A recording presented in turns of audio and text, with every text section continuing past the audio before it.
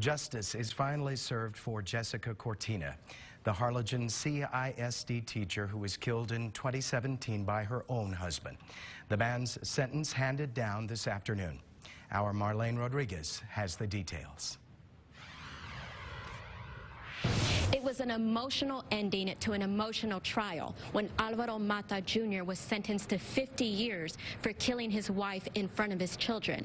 And District Attorney Luis Saenz, who questioned Mata, also got sentimental during the trial. Well, you know, when you meet with the family in, in private and, and, you meet with your mother and, and, you meet with the father and the family, it, it's, it's hard not to get emotional about it.